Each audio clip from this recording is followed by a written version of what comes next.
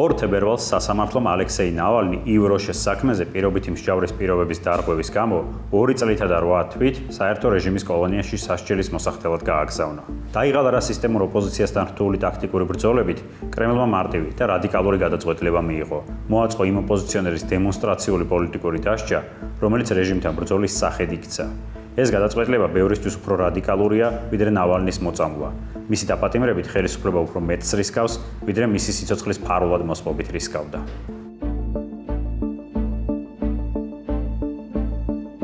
როგორ მოხდა, რომ მრავალწლიანი რთული კომბინაციების, სტაბილურად მაღალი რეიტინგების და მართვადი დემოკრატიის თამაშის შემდეგ ხელისუფლება ასეთ უხეშ და ირაციონალურ ნაბიჯებზე გადავიდა, რომლითაც 10 წლეულების განმავლობაში პოლიტიკური მშენებლობის მიღწევებს ერთი ხელის მოსმით ანადგურებს.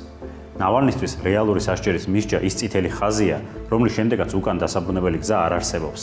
დაიწყო პროცესები, რომელთა შეჩერება შეუძლებელია. ნავალნი ციხეში რუსული რეჟიმის გრძელი და გარდაუვალი ეროზიის შედეგად აღმოჩნდა, რომელიც ვლადიმირ პუტინის როლის ცვლილებას უკავშირდება. ბოლო წლებში გეოპოლიტიკურმა დღის წესრიგმა ერთდროს პოპულარული სახალხო ლიდერი მთლიანად ჩახლაპა. მან ქვეყნის მართლობა აღმასრულებელი ტექნოკრატების და დაუნდობელი ძალოვანების კოალიციას თანდათან გადააბარა და თავად მხოლოდ საყვარელი თემები დაიტოვა. ასეთი ხელისუფლებისთვის საკმარისი არ აღმოჩნდა არასისტემური ოპოზიციის ლეგიტიმური პოლიტიკური ველის მიღმა უბრალოდ გაყვანა.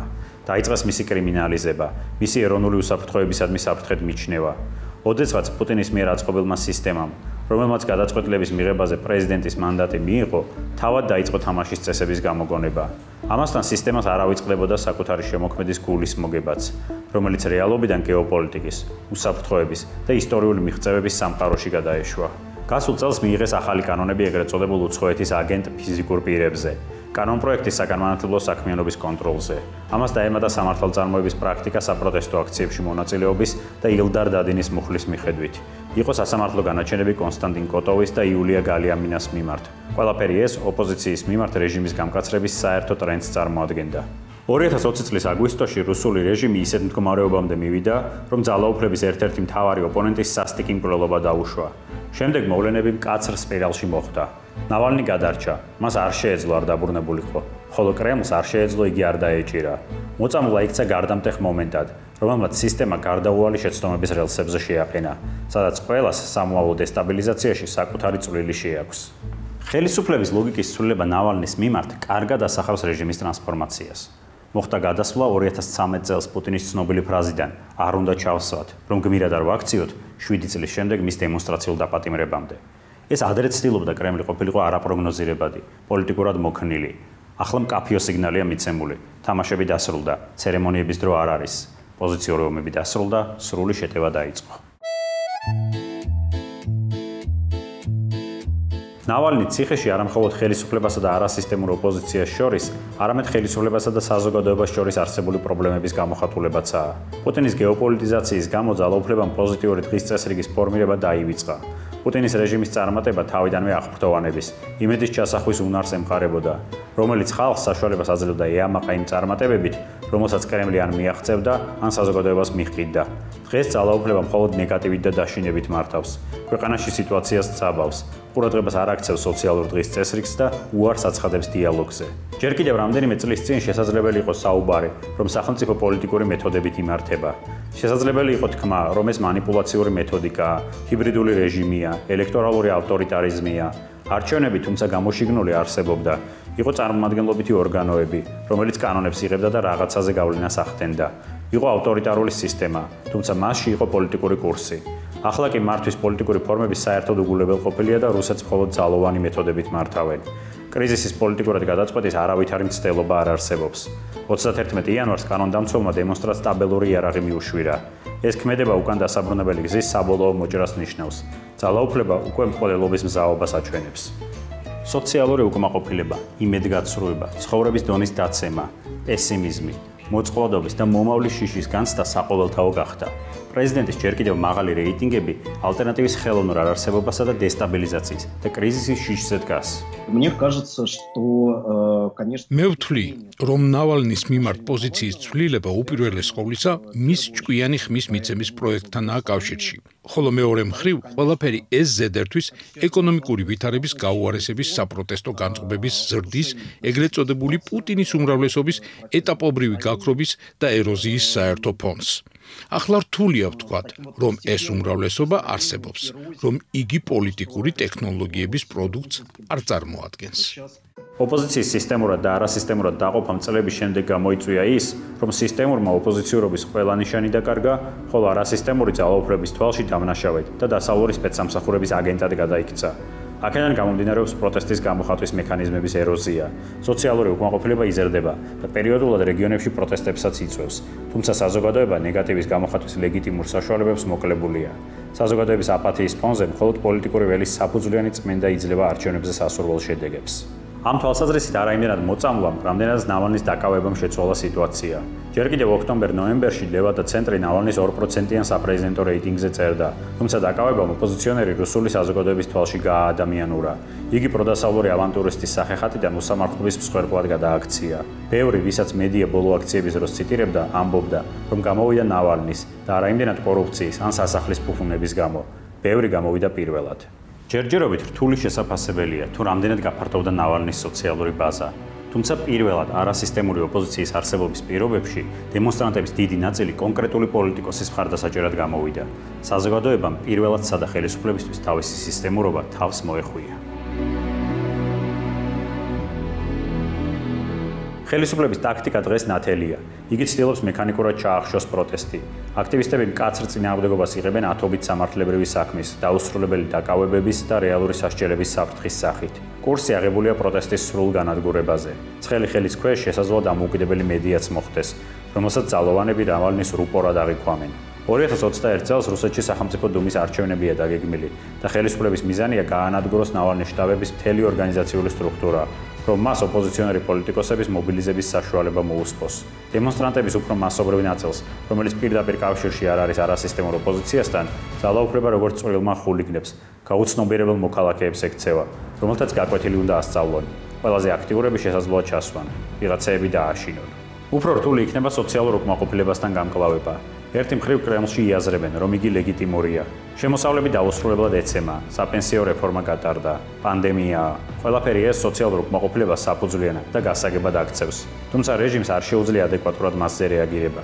იგი ზედმეტად გაქხვავდა. რეფორმების მანდატი პუტინისგან უკვე არ გააჩნია და რეფორმებს არც არავინ აპირებს, რომ არაკეთილ საიმედოობაში ეჭვები არ გამოიწვიოს. სოციალური პრობლემების გადაჭრა რთულია და იგი არავის შეუძლია. საშინაო პოლიტიკის კურატორები სოციალურ-ეკონომიკურ კურსს არ განსაზღვრავენ.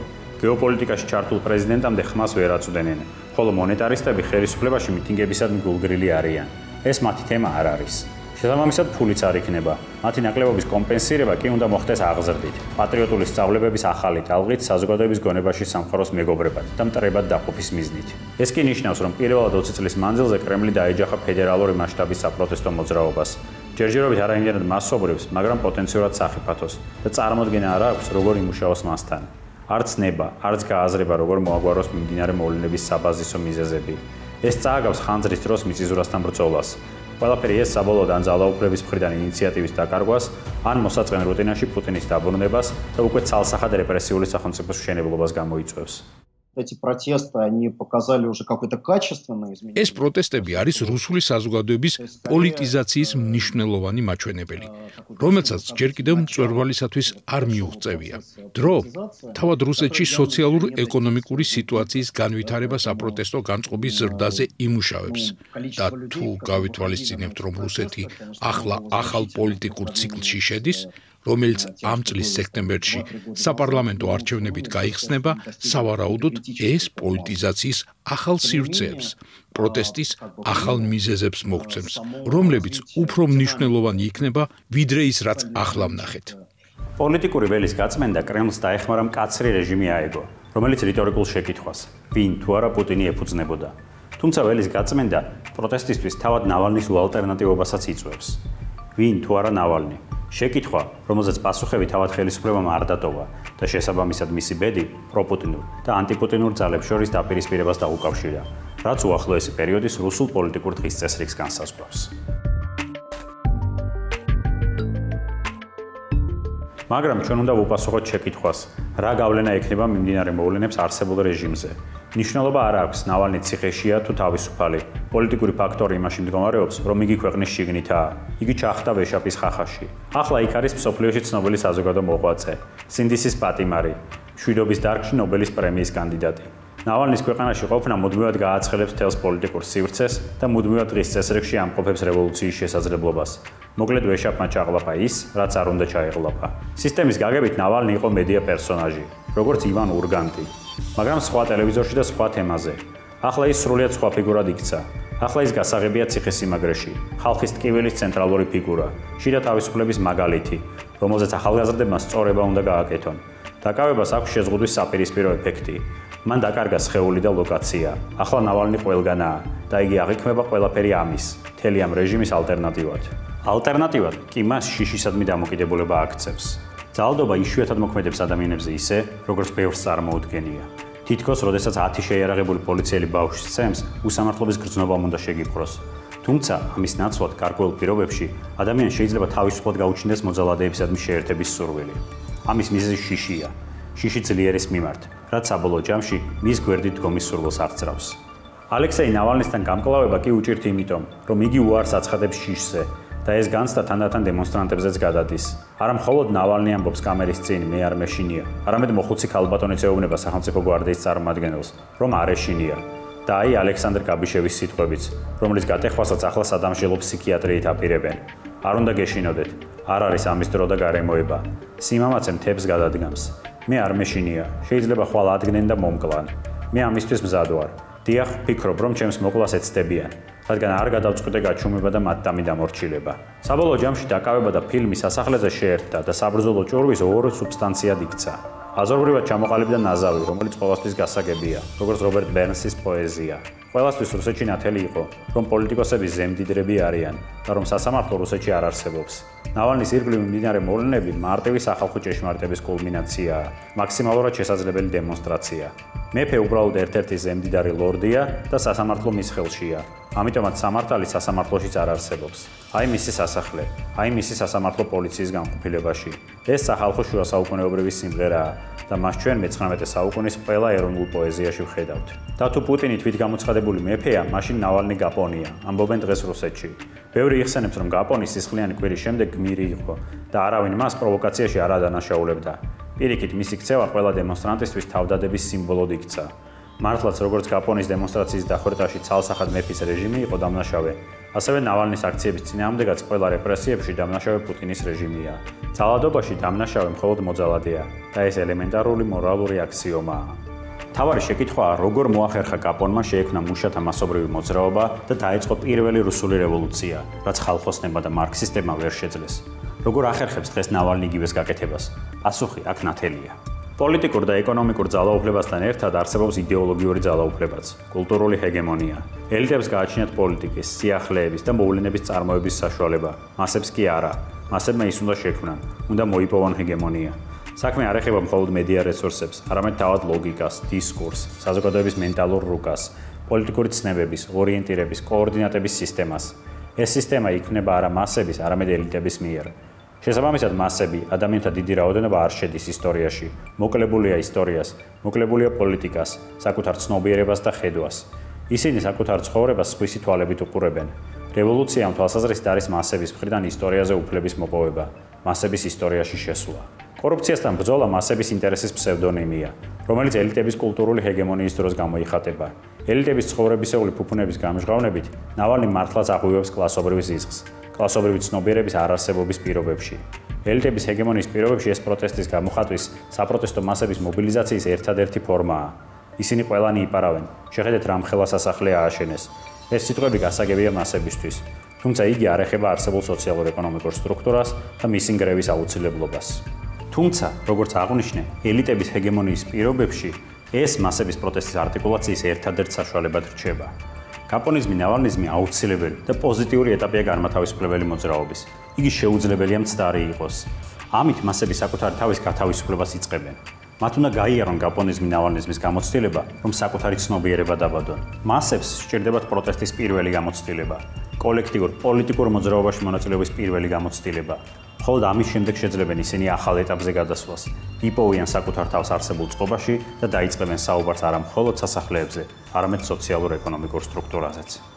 можно сказать, что сегодня в შეიძლება ითქვას, რომ დღეს ამ პროტესტში საკუთარ გამოხატვას პოულობენ ერთი მხრივ განწყობები, რომლებიც დაკავშირებული არიან სოციალური სახელმწიფოს მოთხოვნასთან, ქვეყანაში შემოსავლების უფრო თანასწორი გადანაწილების მოთხოვნასთან, ანუ მემარცხენე მოთხოვნები და მეორე მხრივ მოთხოვნები, რომლებიც უკავშირდება საბაზისო დემოკრატიულ თავისუფლებებს, რომელიც უფრო ახლოს ლიბერალურ აუდიტორიასთან არის.